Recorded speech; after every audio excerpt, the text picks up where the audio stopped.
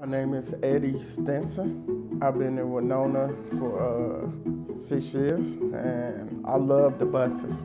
I love the bus, and I love everybody. But we got a community, we need the buses free. We need it 24 hours.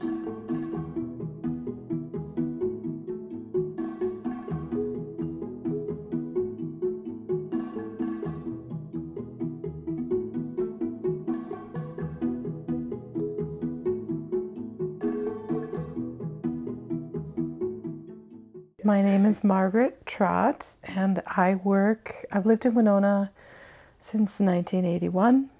I, uh, for the last seven years, have worked for Winona Area Public Schools. I teach adult literacy classes in the mornings and two nights a week. Encounters I've had with the bus service are with my students because uh, a number of my students don't drive, and so I try to coordinate a bus schedule for them uh, that uh, allows them to get to my classes, which start at six. But then um, there's no way for them to get home. Our bus service, the way it is, is only for people that really have no alternative. And even then, it, even when you have no alternative, it's really hard to juggle a job and uh, do your errands and, and use our bus system at um, Bethany House. They have an evening meal, and sometimes people don't come for the meal because it's dark and much colder in the evening, and they don't have a way to get from Bethany House, which is on the west end, back downtown to the to the um, shelter. I'm a part of the Catholic worker community here at the Bethany House on West Broadway, and we've been here for um, close to 30 years providing hospitality in Winona to folks of all sorts of different backgrounds. We're open currently Monday through Friday from 4 until 8 p.m., and we serve a hot meal at 6 every day. We've been serving our dinner meal at 6 p.m. since the early 2000s, and that has always conflicted with the bus schedule. And of course, many of the folks that use our services here are really dependent on public transportation in order to get across town.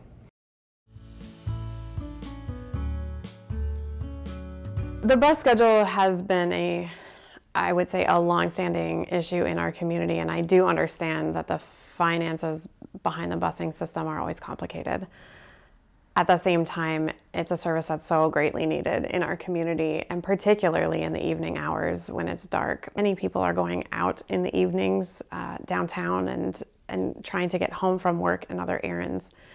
And having the buses available past 6 p.m. would be a massive help for a lot of people, not only that we know, but that we know of in this community. Certainly, we all know that huge companies are operating 24 7 in this community, and yet there's such limited access to getting to these workplaces, which are often on the edges of our community.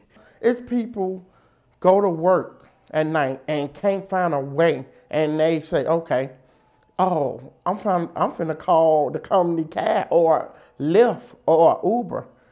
You're spending more, you losing more. But if we have Winona bus, Winona Transit, oh, that will make a difference in our community. We're a really productive uh, community, but it's difficult for people to get back and forth to work.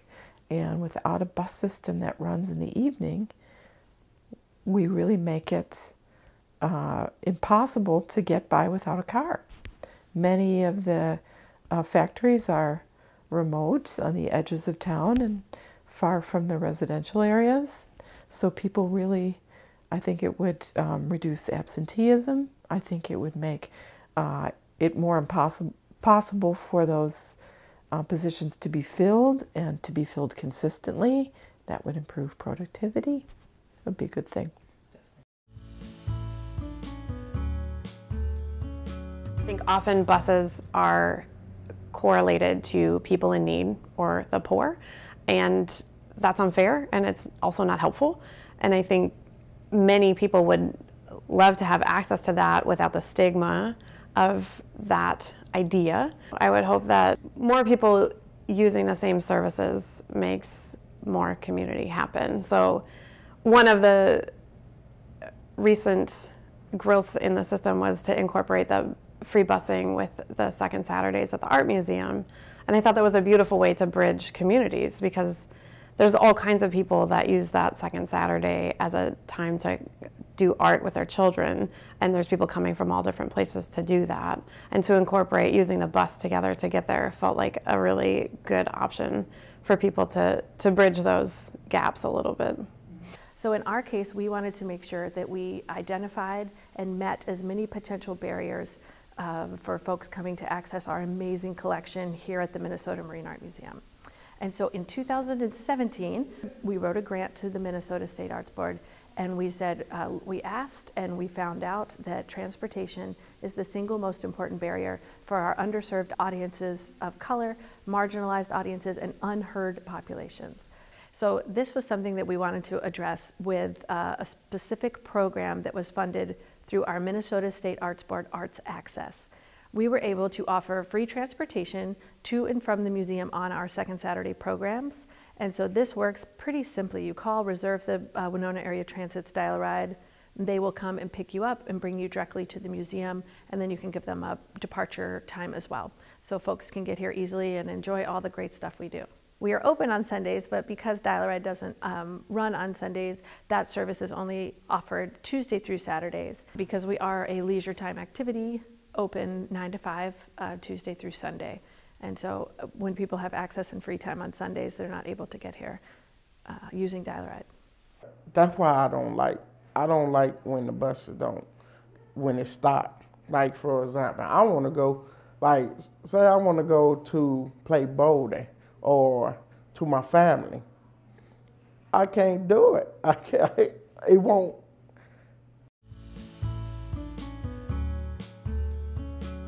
So our goal is free fares for all, and then our our longer goal is then hopefully free fares for all will build use of the bus, and then we'll be able to have more frequent buses and buses in the evenings and buses on the weekends.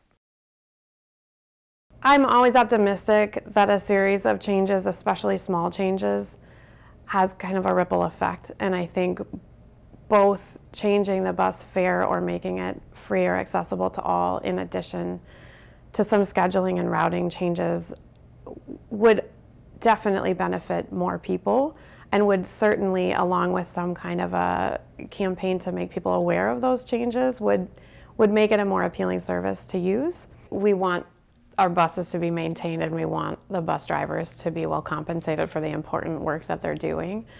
And if we can obtain that funding through other sources besides charging the ridership, that will certainly increase our ability to be more creative about how we use this transportation system. And I think it will encourage the companies and organizations that would have to step up in order to fund that to increase ridership within their own ranks. And that really is its own benefit. That if, say, for instance, Fastenal or Winona State decided that they were going to help fund this transportation project, then of course it would be to their benefit that they promote riding the public transportation within their students and employees. So I think it's really a win win all around. in addition to being a bus advocate, I am a huge bicycle advocate, and uh, there are so many complaints about parking and plowing and alternate side parking and towing in this town. And certainly there are ways around it, and not having a car is one way. So, yes, leaving that, um, that issue aside by having better access to other modes of transportation would certainly improve things people that got cars, people got cars right now, that would save them gas. That would save them gas money. For example, if I had a car, I would love to ride the bus. I could save my gas. I don't have to spend my money. I can just park it in the parking and hop on a hop on. Like I got a bike. I'm hopping on the bus. so overall would improve, make Winona a greener and more livable community, and it would be specifically beneficial to employers and to hotels and to our tourism industry in general. And there's a lot of redundancy, right? We are moving students, Winona State is moving students across town multiple times a day in those big purple buses. Well, why not make a system that's available free to all the students, but all the community members as well?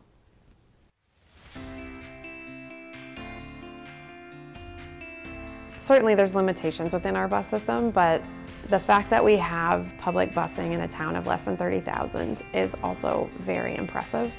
And the fact that it continues to be a priority and something that the community is talking about wanting to not only uphold but make better is a real point of hope, I think. And certainly in light of the fact that we're facing climate crisis, we should all be thinking of creative alternates to having our own personal cars.